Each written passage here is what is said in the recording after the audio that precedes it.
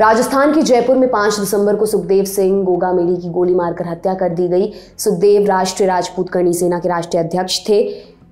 दिन दहाड़े कुछ बदमाश गोगा मेली पर गोलियाँ चलाकर फरार हो गए। घटना के तुरंत बाद गोगा मेली को अस्पताल ले जाया गया, जहाँ डॉक्टरों ने उन्हें मृत घोषित कर दिया। हमले की ज़िम्मेदारी गैंगस्टर रोहित गोदारा ने ली है। इस घटना में गोगा मेली के साथ मौजूद अजीत सिंह नाम के एक व्यक्ति भी गंभीर रूप से घायल हुए हैं। क्रॉस फायरिंग में नवीन सिंह शेखावत नाम के एक हमलावर की भी मौत हुई है।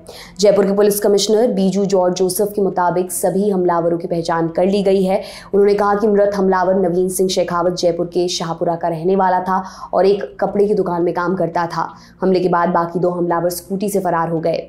आज तक से जुड़े अरविंद ओझा की रिपोर्ट के मुताबिक रोहित गोदारा, लॉरेंस बिश्नोई गैंग से जुड़ा हुआ है। कुछ महीने पहले गोदारा ने अपने दुबई के नंबर से गोगा मेडी को धमकी भी दी थी। गोदारा फ़िलहाल देश से फरार है। उसके खिलाफ एनआईए की जाँच भी चल रही है।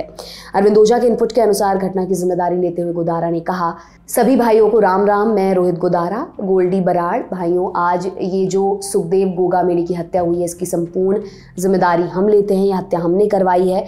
मैं आपको बताना चाहता हूँ, ये हमारे दुश्मनों से मिलकर उनका सहयोग करता था, उनको पूर्ण रूप से मज़बूत करने का काम करता था। हमारे दुश्मन अपने घर की चौखट पर अपनी अर्थी तैयार रखें। सुखदेव सिंह गोगामेड़ी की हत्या के बाद लोगों ने मेट्रो मास हॉस्पिटल के आसपास की सड़कों को ब्लॉक कर दिया है। इलाके में प्रदर्शनकारियों ने कई जगहों पर आगजनी की है। घटना को लेकर राजस्थान की पूर्व सीएम वसुंधरा राजे ने सोशल मीडिया वेबसाइट एक्स पर लिखा, राष्ट्रीय राजपूत करणी सेना के राष्ट्रीय अध्यक्ष सुखदेव सिंह गोगामेड़ी की हत्या दुर्भाग्यपूर्ण है। ईश्वर दिवंगत की आत्मा को शांति प्रदान करे और शोक संतप्त परिजनों को संबल प्रदान करे। बीजेपी नेता और जल शक्ति मंत्री गजेंद्र सिंह शेखावत ने क्या कहा? सुनिए। देखिए, पिछली सरकार के समय से जिस तरह से राजस्थान में गैंग वॉर्स पनपी हैं डिफरेंट गैंग्स के बीच में युद्ध शुरू हुए हैं और राजस्थान को अराजकता की अग्नि में धकेला गया, ये उसी का दुष्परिणाम है। करणी सेना के राष्ट्रीय अध्यक्ष स्वर्गीय सुखदेव सिंह जी को जो धमकियाँ मिली थी उनके चलते हुए उन्होंने पुलिस प्रशासन को इसके लिए आगाह भी किया था। लेकिन दुर्भाग्य से जिस स्तर पर उनको सुरक्षा मिलनी चाहिए थी, उस स्तर पर सुरक्षा प्रदान नहीं की गई। निश्चित रूप से इसके लिए भी ज़िम्मेदारी तय करने की आवश्यकता है और साथ साथ में जिन लोगों ने ये दुर्दांत कृत्य किया है, उनको तुरंत गिरफ़्तार किया जाए, उनको किए की सजा मिले। कौन थे गोगा मेडी?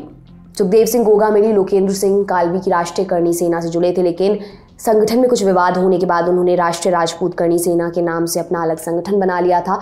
वे इसके अध्यक्ष थे। साल 2017 में संजय लीला भंसाली की फ़िल्म पद्मावत की जयगढ़ में शूटिंग के दौरान राष्ट्रीय राजपूत करणी सेना के लोगों ने तोड़फोड़ की थी। फ़िल्म डायरेक्टर भंसाली पर हमला भी किया गया था।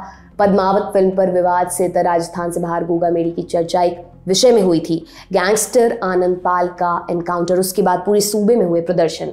24 जून 2017 को राजस्थान पुलिस ने कुख्यात गैंगस्टर आनंद पाल को चुरू के एक गाँव में घेर लिया।